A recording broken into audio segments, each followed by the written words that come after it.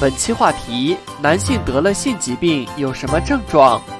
张志超，北京大学第一医院泌尿外科主任医师。男性的性疾病，应该我们就说叫性传播疾病。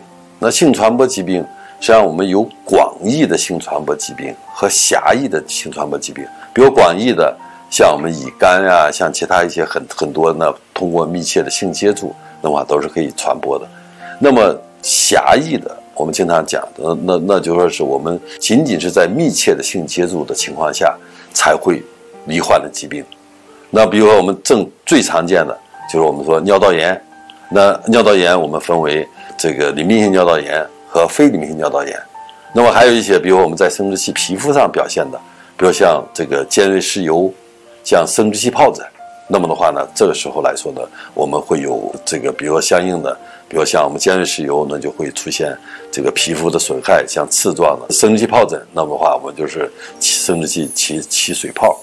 那么还有来说呢，我们可能伴有一些全身性的疾病，比如像像我们以前常有的，比如像梅毒，梅呃梅毒呢，它表现，比如说在一期的时候，它主要我们叫硬下疳，比如在阴茎生殖器出现这个增殖器溃疡。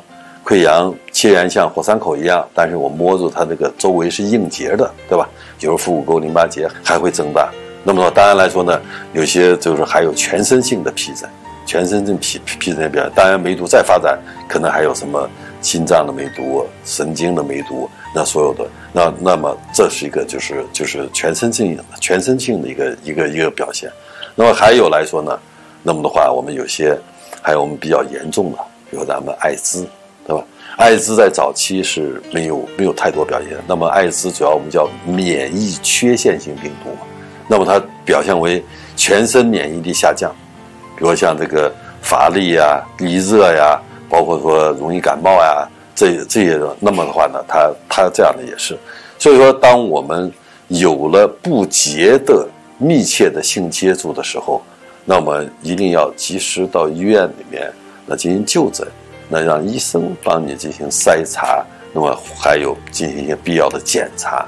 如果说我们罹患，万一罹患疾病的话，要及时合理的治疗。